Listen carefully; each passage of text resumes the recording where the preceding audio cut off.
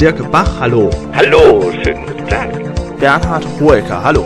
Ja, einen wunderschönen guten Tag. Gundis Zambo, hi. Hallo. Daniel Kühlberg, guten Tag. Ja, hallo, guten Tag. Freut mich. Simon Gose-Johann, hallo. Ja, hallo Julian, guten Tag. Der Preis ist heiß, hallo Harry Weinfurt. Hallo und einen wunderschönen guten Tag zu euch rüber. Kultkomiker Mike Krüger, hallo. Wunderschönen guten Tag. Maren Gilzer, hallo. Hallo, herzlich willkommen. Ja, liebe Leute, herzlich willkommen. Hallo Freunde zur neuesten Ausgabe vom Sprechplanet. Mein Name ist Julian Schlichting. Schön, dass ihr euch wieder eingefunden habt hier zu unserem Seminar quasi zum Thema Alles, was zählt. Dozent, wenn ihr so wollt, wird heute Dennis Grabosch sein. Er wird mir gleich live am Telefon Rede und Antwort stehen. Alles, was zählt, läuft nun auch schon seit fast drei Jahren und das sehr erfolgreich. Er spielt dort den Eiskunstläufer Roman Wild, der sich aktuell gerade wieder mit Dennis Öztürk ja, wie soll man sagen, zusammenfindet, würde ich mal sagen. Darüber werden wir sprechen. Unter anderem nach drei Jahren gibt es natürlich viele Geschichten, die er schon gespielt hat. Wir wollen ein wenig sprechen über die Serie. Ich freue mich, dass Dennis sich Zeit genommen hat hier heute für uns und für euch natürlich. Und dann würde ich sagen, fangen wir direkt an, oder? Er wartet ohnehin schon bei uns im Telefon und da sicherlich sehr viele Fans der Serie gerade zuhören und denken, Mensch, laber nicht so viel, lass Dennis zu Wort kommen. Ein Jingle und dann geht's los mit dem Gespräch mit Dennis Grabosch und mir. Last but not least. Viel Spaß.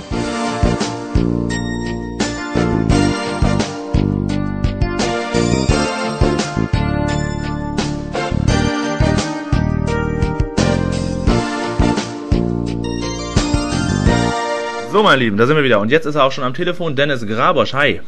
Grüß dich, hi. Seit 2006 gibt's jetzt alles, was zählt, wird auch schon drei Jahre alt. Ist die Zeit für dich bisher schnell vergangen oder kommt dir das schon lange vor? Kommt drauf an, es gibt Tage, die vergehen wie im Flug und es gibt Tage, da denkst du, es sind äh, 20 Jahre. Wie bist du denn damals an die Rolle gekommen? Gab's ein direktes Casting oder wurdest du äh, speziell angefragt? ähm, ich wurde, äh, das war ein sehr langer Castingprozess. Ich äh, bin ganz am Anfang mal angefragt worden, da wurde aber nichts draus und als es dann ein halbes Jahr später kurz vorm Drehen war, kam dann nochmal eine Anfrage, die würden mich gerne sehen und Ja. äh, das ist es dann geworden, ja. Konntest du dich vorher denn auf Schlittschuhen schon gut bewegen oder hattest Nein, du gar das? nicht. Ich habe auch von Anfang an gesagt, ich kann das nicht. Ich war mal gut auf Rollerblades, aber Ja. Schlittschuhlaufen war nie meins und wird es auch, wenn das jetzt vielleicht Leute enttäuscht, nie wirklich werden. Ja. Also es reicht. Ich kann, ich habe dann relativ viel trainiert in der Zeit, wo ich in, in Köln war und für das, was wir da machen, hat es auch immer gereicht. Mhm. Hast du also ein Double für gewisse Szenen dann? ne? Ich habe ich hab sehr viele Double verschlissen in der Zeit, in der ich mache. Ja. Was sehr schön war, war, ähm, das war so die Zeit, wo, wo äh, Tanja auch sehr viel trainiert hat für diesen Meister. Die hat ja generell viel trainiert, aber wir haben viel zusammen trainiert und äh, die hat mir sehr, sehr geholfen bei einigen Dingen und bei einigen Meisterschaftsdrehs. Mhm. Ansonsten wurde ich halt von meinen Double unterrichtet und ich hatte ganz am Anfang eine eigene Eislauflehrerin und die hat mir so die Basissachen beigebracht und ja, hat irgendwie funktioniert, aber ich kann jetzt nicht sagen, dass es mein Lieblingssport ist und dass ich das besonders gerne mache. Äh, die Eishallenaufnahmen werden ja logischerweise in einer Eishalle gemacht. Äh, wie oft bist du tatsächlich vor Ort? Gibt's da beispielsweise eine Woche, wo alle Folgen des Monats für die Eishalle gedreht werden oder wie wird das produziert? Nein, das wird wöchentlich äh, disponiert, jeweils zu dem Blog. Ein Blog sind fünf Folgen und äh, dazu gibt es dann immer die Außendrehbilder äh, und das ist dann die Eishalle für den jeweiligen Blog und die fünf Folgen, die dann in einer Woche laufen. Ah ja, okay. Und welche Geschichten um äh, Roman Wild haben dir bis jetzt am meisten Spaß gemacht oder dich vielleicht auch sehr gefordert?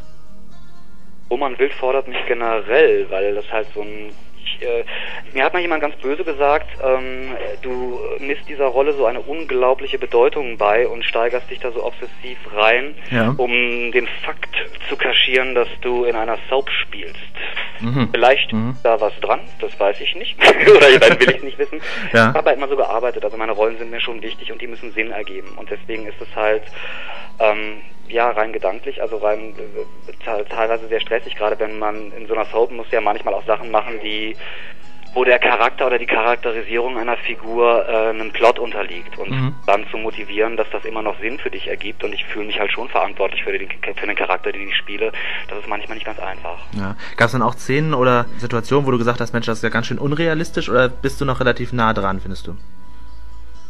An dem, was ich will und was ich erreichen will für Roman Wild, bin ich eigentlich immer nah dran, weil ich alles, was ich irgendwie so gemacht habe, motivieren kann. Das Ja. hat nicht funktioniert nicht immer richtig gut oder so, wie ich es dann haben wollte, aber so von, von der Grundtendenz äh, gibt es eigentlich nichts, was ich mir vorwerfen könnte. Roman Wild macht als Figur psychologisch gesehen Sinn. Mhm. Muss ihn nicht mögen und das ist aber auch nicht mein erklärtes Ziel. Ich muss nicht das akzeptable Gesicht der Homosexualität im deutschen Serienfernsehen sein, Ja. sondern ich spiele eine Rolle, die äh, in einem dramatischen Kontext Sinn machen muss. Und das hat er von Anfang an, auch wenn er viele Dinge gemacht hat, die äh, eigentliche Fans vielleicht die am Anfang mal Fan, Leute, die Fans waren von Roman, am Ende eher abgeschreckt hat, die dann gesagt haben, okay, ich finde den glaube ich doch nicht so toll, aber mhm. psychologisch macht die Figur für mich Sinn. Und das also, seit sehr langer Zeit. Also ich kann in den Spiegel gucken und sagen, ich weiß, was ich versucht habe und äh, wer genau hinguckt, sieht das hoffentlich auch. Ja, also siehst du auch eine Weiterentwicklung in der Figur. Vielleicht auch in deiner Schauspielerei. Kannst du dich selber gut im Fernsehen anschauen oder wie sieht das aus?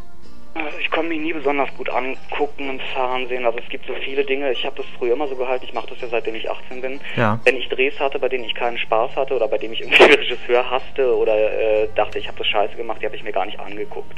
Und manchmal passiert es anderen. Es kommen ja immer wieder auch Wiederholungen, wenn man das über so lange Zeit macht. Und dann guckt man irgendwie zufällig in irgendwas rein und denkt, ach Gott, das hast du als so schlimm empfunden. Das war ja gar nicht so schlecht. Oder mhm. will ich auch manchmal das Gegenteil, dass du irgendwas siehst und denkst, Gott, das fandst du so gut, als du es gemacht hast. Was ist denn das schrecklich? Ja. Also ich finde, dass die, die, letzten Endes ist so, weißt du, so, ich finde ja immer erstrebenswert oder dass, dass man ein Working Actor ist und das ist für mich immer ein Arbeiten an dir selbst und Dinge, die du irgendwann mal gut fandst, verändern sich ja auch. Sonst bleibt man, glaube ich, auch stehen. Also man muss immer auch offen sein für Neues und bei AWZ hat sich im Laufe dieser Zeit, die ich das mache, auch einiges verändert. Ich habe zum Beispiel früher immer, also dramatische Sachen waren immer ganz, ganz einfach. Ich habe ja ganz lange Mörder und Psychopathen gespielt. Ja. Das ist mir immer leicht gefallen. Ich hatte tatsächlich immer Angst vor Szenen, wo dann irgendwie Leute am Frühstückstisch sitzen und sich gegenseitig die Butter reichen. Und das ist was, was ich zum Beispiel bei AWZ auf einmal angefangen habe zu genießen, dass so diese, diese Normalität herzustellen. Das ist genauso harte Arbeit wie schreien, weinen, Leute erschießen, sich zusammenschlagen zu lassen, Leute schlagen. Mhm. Ähm, äh, und bei, bei AWZ habe ich auf einmal so eine, so eine Selbstverständlichkeit bekommen bei Szenen, vor denen ich früher unglaubliche Angst hatte. Ja. Also bist du plötzlich auch der Sympathieträger geworden, so ein bisschen, ne? Ähm, ja, aber ich, aber das, das finde ich auch so lustig, weil ich mag ja, wenn Figuren dreidimensional sind und ich hasse ja so Figuren, die als nur grundgut angelegt sind, wo man dann auch darauf achtet, die dürfen nur nichts Falsches machen. Ja. Ich finde ja mal spannend, wenn Leute Ecken und Kanten haben und dann zu gucken, warum sind die so, wie die sind, finde ich halt viel spannender, als jetzt der Sympathieträger zu sein. Mhm. Und ich äh, kann durchaus verstehen, wenn Leute sagen, sie mögen Roman nicht, weil der sehr viele Ecken und Kanten hat und auch nicht geradlinig nett ist. Ich glaube, Roman hat so als persönliches Ziel für sich ähm, lange Zeit gehabt, ich will Everybody's Darling sein. Mhm. Das ist zum Beispiel mhm. auch eine Entwicklung, die er dann nach dieser Trennung von äh, seinem Serienfreund Dennis Öztürk irgendwie äh, gemacht hat. Everybody's Darling is actually no one's friend. Mhm. Und das finde ich, eine, finde ich zum Beispiel eine sehr, sehr äh, große charakterliche Entwicklung. Kannst du die Rolle auch so ein bisschen mitentwickeln oder gab es schon Momente, wo du gesagt hast beim Lesen des Drehbuchs, Mensch, das passt nicht so auf Roman, das müssten wir vielleicht anders machen? Die gibt es immer bei uns und das ist natürlich, das, das Tolle ist wirklich an AWZ, dass wir unglaublich tolle Regisseure haben, die alle ihren eigenen Stil haben. Ähm, wenn man Regisseure gut kennt und lange irgendwie zusammenarbeitet, und unsere Regisseure kommen ja auch wieder, sind die natürlich äh, auch äh, bereit, sich anzuhören, was man zu sagen hat. Aber die Produktion ist es letzten Endes auch. Ich meine, ich kann jetzt natürlich nicht sagen, äh, ich finde diese Storyline ganz scheiße und ja. äh, das würde Roman niemals tun, aber ich äh, kann natürlich durchaus genauso wie alle anderen Kollegen das auch tun können und das ist, glaube ich, auch äh, das, was, was mit das Besondere bei AWZ ist, sagen, können wir das anders motivieren, so dass das mehr zur Figur, zu, zur Figur passt. Und unsere Autoren sind da auch ansprechbar und äh, das ist so ein, so, ein, so, ein, so ein gemeinsames an einem Strang ziehen. Das ist nicht immer einfach in so einem täglichen Format, aber ich finde, dass wir das über lange Zeit sehr gut hinbekommen haben. Und mhm. wenn ich mir im Moment so die Folgen angucke, denke ich, äh, nach drei Jahren, was ich nicht gedacht hätte, Wahnsinn, ich bin stolz, dass ich in dieser Produktion spielen darf. Ja, gibt es irgendwelche Kollegen, die du vielleicht vermisst? Ich meine, nach drei Jahren sind natürlich noch viele vom ganz Anfang dabei, aber gibt es auch welche, mit denen du gern länger gespielt hättest? Ähm, klar, gibt's immer. Das Ding ist nur, ähm, man hat manchmal gar nicht so viel Zeit, über sowas nachzudenken. Mhm. Weil es als, äh, also es tut immer weh, wenn ein Kollege geht. Für mich war extrem schlimm, als Birgit Würz gegangen ist, weil ja. also ich fand es äh, bei, bei, allen Kollegen natürlich jetzt schlimm. Das klingt jetzt nur bei Birgit Würz hat mir echt, das, da ist, ist, mir so kurzzeitig das Herz gebrochen, wo ich so dachte, äh, das ist nicht schön, das ist, ist einfach nicht gut. ja. äh, als Roman und Dennis dann ein Paar wurden, ähm, gab es ja sehr viel Zuschauerfeedback auch sehr, sehr viel positiv. Hat dich diese Geschichte überrascht oder wie fandest du es damals? Ähm, überrascht hat es mich nicht, weil ich dachte, wenn man das richtig macht, dann müsste das so sein. Ich habe eher gedacht, in Deutschland geht sowas unter, weil sich kein Schwein für sowas interessiert. Und ja. Feedback war überwältigend. Und äh, das Tolle eben auch, äh, dass die Leute sich mit dem Inhalt auseinandergesetzt haben und die Figuren auch als Figuren wahrgenommen haben. Also, dass es nicht darum ging, wie sehen die aus. Natürlich gibt's das auch, nur ich meine, das ist halt echt so, weißt du, das Ding, was mich am wenigsten interessiert. Ja. Also, ob mich jetzt Leute attraktiv finden oder nicht, da kann ich mir ein Ei drauf backen. Ähm, also, auch, also mir geht's darum, was mich wirklich bewegt ist, wenn Leute sich auseinandersetzen mit, äh, mit Inhalt und dann auch Kritik anbringen, wenn sie angebracht ist. Mhm. Das fand ich natürlich, als die beiden sich getrennt haben, äh, war so am Anfang war so eine Euphorie wie Wahnsinn, so eine Geschichte in der Soap auf dem Niveau erzählt, das ist toll und äh, der, der, der, der, der Igor Dolgachev äh, hat das außergewöhnlich toll gespielt und ist äh, unglaublich talentiert und ist so ist so offen an diese Geschichte rangegangen, wo sich echt viele, viele Kollegen, die sich als gestandene Kollegen bezeichnen würden, echt eine Scheibe von hätten abschneiden können, gerade bei so einer Thematik. Ja. Und ähm, als das dann so zu Ende ging, kam natürlich auch eine Kritik und die Kritik war war ganz oft berechtigt. Mhm. Und das fand ich toll, wo ich so wo, wo, wo ich habe so oft im Laufe meiner Karriere irgendwie gehört, im Laufe meiner Karriere so oft so Sachen gehört, wie der Zuschauer ist dumm und das ist halt was, wo ich mich nicht drauf einlassen mag. Also ich finde, äh, der Zuschauer ist niemals dumm, sondern er ist der Zuschauer, für den man es eigentlich macht. Mhm. Den muss man ernst nehmen. Und es war toll, wirklich so viel Feedback zu bekommen von Leuten, die sehr genau hingeguckt haben und gesagt haben, jetzt nicht, weil wir die so süß finden, sondern aus den und den Gründen finden wir das Ende dieser Geschichte sehr merkwürdig. Mhm. Sind auch dabei, viel, viele sind abgesprungen, was ich auch verstehen kann. Wenn jemand sagt, das gefällt mir nicht, dann schalte ich nicht mehr ein. Aber es sind viele dabei geblieben und haben genau geguckt, ob da noch irgendwas da ist. Und für die haben wir auch viele Sachen nach der Trennung weiterhin bespielt, die, ähm, äh, die, die, die, die nötig waren, um irgendwie zu dem Punkt zu kommen, dass wir nochmal neu wieder anfangen können mit der Geschichte. Hast du auch mitbekommen, dass es vielleicht Zuschauer gab, die erst durch diese Geschichte auf euch aufmerksam wurden? Äh, ja. Also Ja. ich, ich habe ganz, ich habe ga- ganz viele Briefe, die ich in dieser Zeit bekommen habe, äh, fingen an mit: Ich hasse Soaps, ich würde sowas niemals gucken. Ja. Ich bin bei einer Freundin gewesen, da da da da da und was auch immer und ich kann nicht aufhören, es zu gucken. Ich schäme mich, aber ich liebe diese Serie, ich liebe eure Geschichte und ich liebe das drumrum. Äh, weiter so. Ja. Ich habe auch gesehen, bei YouTube gibt es auch sehr viele Channels, die sich nur mit diesen Szenen um Roman und Dennis beschäftigen. Also der Fankreis ist dafür sehr stark da. Wie war es denn damals, als die Trennung dann quasi durchgespielt wurde? Habt ihr euch da genau überlegt, wie machen wir das, um die vielleicht auch irgendwann wieder zusammenkommen zu lassen? Ähm, ja, das liegt ja dann tatsächlich nicht an uns, sondern da musste ich halt, das ist das, was ich vorhin gesagt habe, da musst du motivieren, wie schaffe ich das, das, das, das zu motivieren, weil ich fand das sehr abrupt, das Ende. Ja. Das hat natürlich, das hat natürlich Gründe gehabt, warum das so ist, und da muss man dann halt irgendwie professionell sein. und das ist in der Zeit wirklich ein bisschen, das ist mir sehr schwer gefallen. Ich fand das war ein bisschen, bisschen übereilt und ich fand das nicht sehr gut äh, und ich war da sehr knatschig, worunter Igor sehr gelitten hat, weil er sehr dicht an mir dran war, wenn man natürlich versuchen muss, professionell dann seine Motivation zu finden, dass es irgendwie funktioniert. Es hat auch funktioniert und es hat auch dann irgendwann Spaß gemacht, aber generell war ich nicht besonders glücklich mit dem Ende und viele Dinge, die Fans gesagt haben, waren Dinge, die ich auch eins zu eins gesagt hätte, Ja. wenn ich damit nicht jedes Mal meinen Job aufs Spiel gesetzt hätte. Aber ich habe durchaus auch gemeckert und ich habe durchaus, ich, es, es hat Szenen gegeben, wo ich wirklich da stand und zu Regisseuren gesagt habe oder sagen musste, ich mache es, Ja. finde es falsch, Ja. es ist nicht gut und es ist ein Schlag ins Gesicht für eine schwule Community oder für Fans dieser Geschichte. Aber bitte, äh, bevor wir jetzt noch lange diskutieren, mache ich. Und dann hat es auch Sachen gegeben, wo dann wirklich Regisseure ganz, ganz, ganz zauberhaft einfach ähm, Dinge auch verändert haben. Gab es eigentlich, dass es gut funktioniert hat. gab es vielleicht auch ein sehr krasses negatives äh, Feedback? Wahrscheinlich sehr, sehr gering, aber vielleicht, ich sag mal, das Thema schwule Türken ist ja immer noch äh, ein großes Tabu, ne? Ähm, ja, ich, äh, aber ich, äh, weiß, äh, also ich fand das war sehr schön in der Coming-out-Geschichte. Ich fand, da lag aber auch nie wirklich der Fokus drauf, auf Ja. diesen, äh, also auf, auf, auf, auf diesen, äh, diesen Hintergrund. Das hat Sam Eisenstein hat das sehr schön mitbespielt mit, äh, mit, mit Igor, aber es war, der Fokus lag halt wirklich ganz woanders. Das war ja eher eine Selbstfindungsgeschichte und wirklich eine ganz klassische Coming-out-Geschichte. Und das, wir hatten das mit drin, aber es lag jetzt nicht arg der Fokus auf diesen, diesen türkischen Hin Familienhintergrund. Mhm. Insofern gab es da, ich, ich weiß nicht, ob Igor jemals irgendwas bekommen hat dazu oder ob Sam da jemals was zugehört hat. Also ich habe ich habe wenig, wenig, wenig negative Sachen äh, oder Anfeindungen jetzt schriftlich oder wie auch immer bekommen. Klar, Ja. du, du hörst irgendwie dann manchmal natürlich irgendwie Leute, die sich scheiß Schwuchtel aus der Serie oder sowas auf der Straße sagen, aber dann ist dann so eine Art von Homophobie, mit der ich ganz gut umgehen kann, weil die ist wenigstens ehrlich. Mhm. Ich finde es ja schlimmer, wenn irgendwie Leute sich als ganz tolerant finden Ja. Und äh, dabei viel, viel homophober sind als irgendein Volldepp, der auf der Straße steht und sagt, ich finde Schwule scheiße. Mhm. Äh, wie oft kam es vor in den letzten Monaten, dass du gehört hast, Mensch, die beiden müssen wieder zusammenkommen?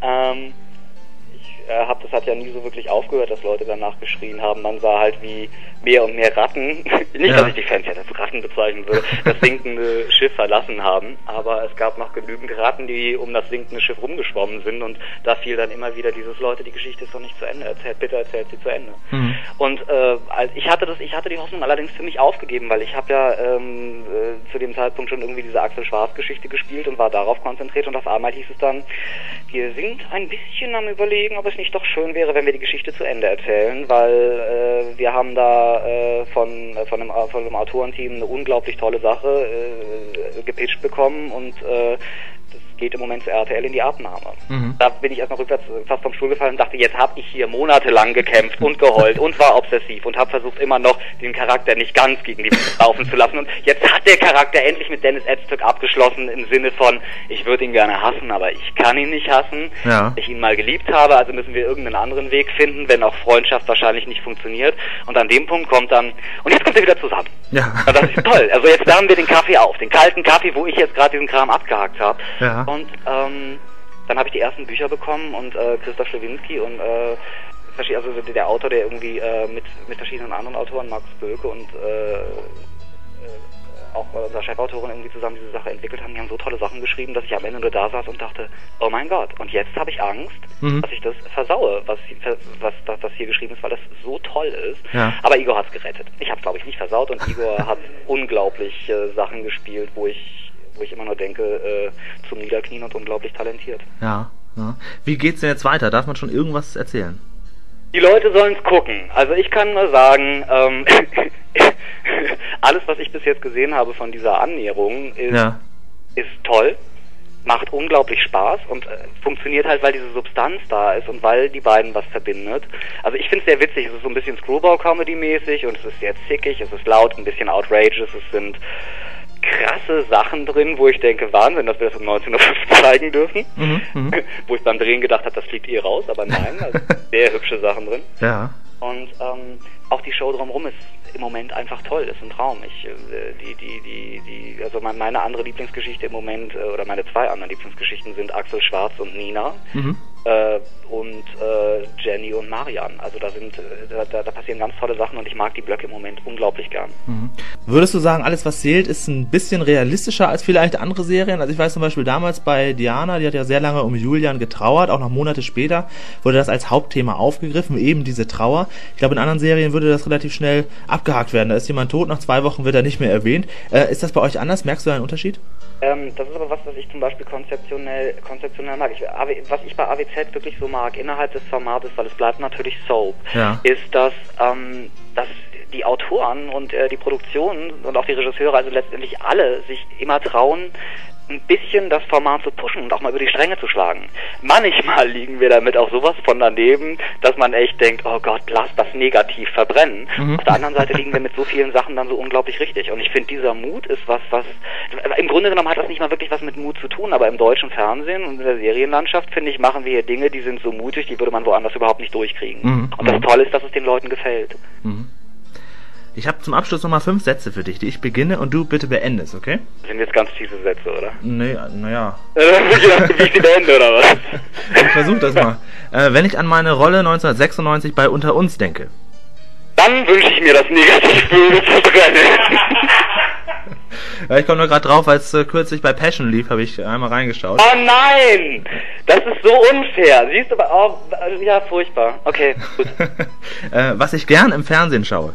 Darf ich noch mal was dazu sagen? Ja klar, natürlich. Okay, entschuldige. Das ist so, ich, das, okay, das, ah, boah, furchtbar. Danach habe ich gedacht, ich dürfte niemals wieder arbeiten. Ja. Das ist echt so, ich habe so, so lange, ich habe mich, glaube ich, die nächsten Jahre, und da habe ich dann irgendwie, ich hatte, das nächste war gleich ein 90 Minuten mit Marile Milovic, in dem ich nicht mal so schlecht war, ja. Ja, ja. Äh, Und dann ging es ja auch so weiter, und dann kamen die ganzen Krimi-Geschichten. Nur ich habe mich jahrelang nicht getraut, mich Schauspieler zu nennen, weil ich immer noch das Unter-uns-Trauma hatte und wusste, da habe ich elendig versagt.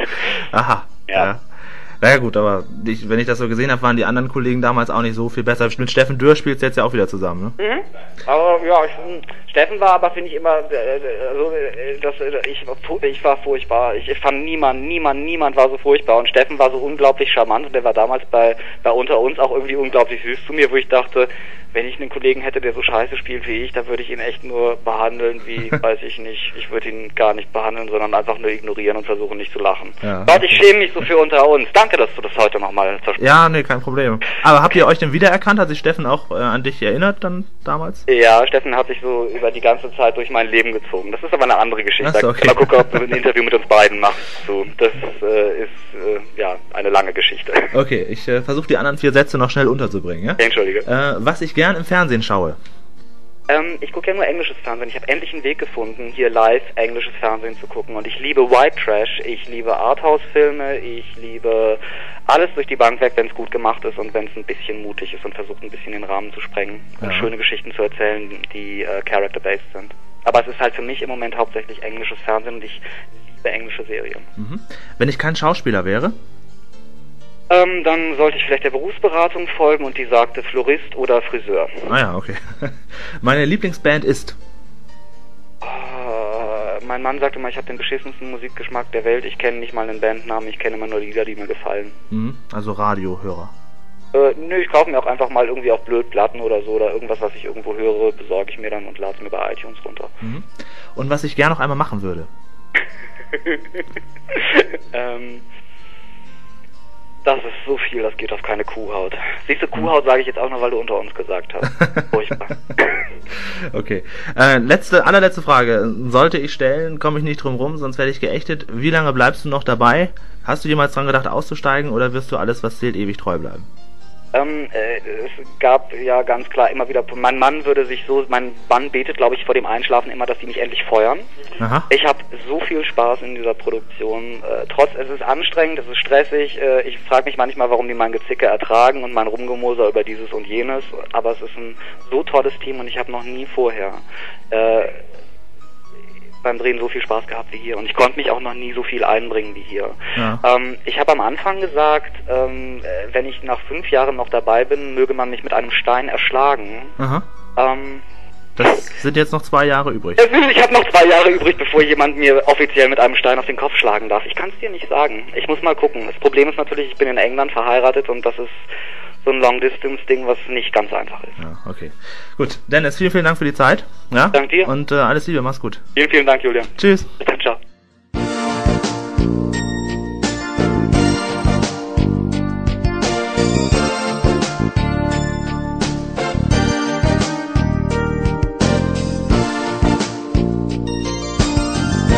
Ja, das war Dennis Grabosch hier bei uns im Sprechplanet. Ich melde mich nochmal kurz zurück. Vielen Dank, dass ihr mich noch hört und nicht direkt nach dem Gespräch ausgeschaltet habt. Würde ich vielleicht auch so machen. Aber ich erzähle jetzt ja noch was. Ein bisschen zumindest. Und zwar unter anderem, wer Montag hier bei uns zu Gast ist. Da stand, ohne Witz, bis vor ein paar Minuten noch nicht fest, hundertprozentig, ob er am Montag hier ist oder doch am kommenden Freitag. Wir haben die Termine jetzt so koordiniert, dass die nächste Woche mal komplett ausgebucht ist und zwei ganz tolle Gäste warten quasi nächste Woche auf mich. Erstmal zum Montag, da haben wir Stefan Bockelmann hier bei uns zu Gast. Er spielt bei Unter uns den Malte Winter. Eine sehr, sehr tolle Rolle, eine recht anspruchsvolle auch. Er war auch Alkoholiker, der Malte, war in U-Haft, hat äh, ja mit Verbrechen nicht gerade gegeizt, würde ich sagen, aber er ist auch ein sehr netter, treusorgender Vater. In der Serie in echt sowieso Stefan Bockelmann hier bei uns am Montag zu Gast. Ein sehr sympathischer Mensch. Ich glaube, das wird ein richtig langes Gespräch, weil er auch sehr viel redet und sehr gerne und ich auch. Und wenn man ihn schon mal zu Gast hat, kann man ja auch alles Mögliche mal fragen. Das werden wir hier am Montag machen. Ansonsten kann ich nur sagen, macht euch ein kühles Wochenende. Wir hatten ja gestern den heißesten Tag des Jahres, deswegen würde ich sagen, Abkühlung, Abkühlung, Abkühlung. Es hat ordentlich gewittert hier bei uns. Geblitzt. Ich wohne ja hier in Norddeutschland, bei Hamburg, zwischen Cuxhaven und Hamburg. Und da hat es geblitzt ohne Ende in einer Tour. Also ich glaube, in zwei Stunden mindestens alle zwei Minuten ein Blitz. Und das waren auch relativ helle dann auch immer. Es hat nicht aufgehört, es hat nicht gedonnert, es hat einfach nur geblitzt. Fand ich sehr komisch. Wir haben alle Stecker gezogen. Heute läuft deswegen noch alles. Nicht zuletzt deswegen gibt's noch Sprechplanet, also immer schön die Stecker rausziehen. Das war's. Vielen Dank. Ja, man kann auch mal was sagen, was ernst gemeint ist. Ne? Das war's. Vielen Dank. Dankeschön. Schönes Wochenende. Tschüss.